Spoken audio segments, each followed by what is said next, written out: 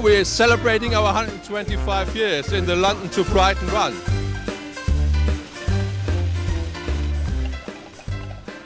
It celebrates the, the run called the Emancipation Run. In 1896, 33 pioneering motorists left the Hilton Hotel in London and headed south, headed 60 miles south to Brighton where we are today and had a rather fine dinner at the Brighton Metropole Hotel. It It's just fun to, to see all the cars here. Uh, many of them equipped with a Bosch Magneto, the first ignition Uh, uh, system which made the cars run. We take over 500 entries each year and this year from Hyde Park we had 496 starters. We start from Hyde Park every year at sunrise which is 7.02. The car I'm driving today, or I'm not driving, I'm a passenger of, of the car, is a Mercedes uh, Simplex 1904 uh, and actually one of the first cars equipped with the Bosch Magneto. Been driven by a couple of journalists actually, um, one from um, Germany and, and a, a, journalist also from the UK. Uh, it's actually from the co-sponsors, uh, Mercedes-Benz. It's from the uh, museum in Stuttgart. Uh, 40 horsepower, no? a very reliable car, and basically one can say it's uh, yeah, the first modern automobile. Before 1896, to drive a car, you needed to have a man in front of you waving a red flag. And the whole idea of emancipation was setting yourself free. So all of a sudden, these 33 guys could go crazy and drive down from London to Brighton. It's amazing to see the old cars running here, and all, as well as the future cars. Future car means a car with a let's say a different engine in it. Could be an electrical engine or could be a hybrid engine.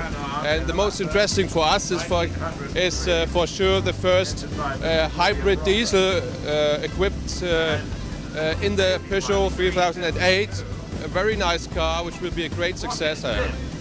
As well as looking at the early pioneers of motoring today, they're also looking at um, alternative fuels, so hybrid, um, electric, even um, you know sort of low low emissions on the and combustion engines. Uh, we will have electrification of cars, uh, but it will last some time. The next 10 to 15 years at least, maybe also 20 years, the combustion engine will play a, a, a major role uh, in the business, in the car industry.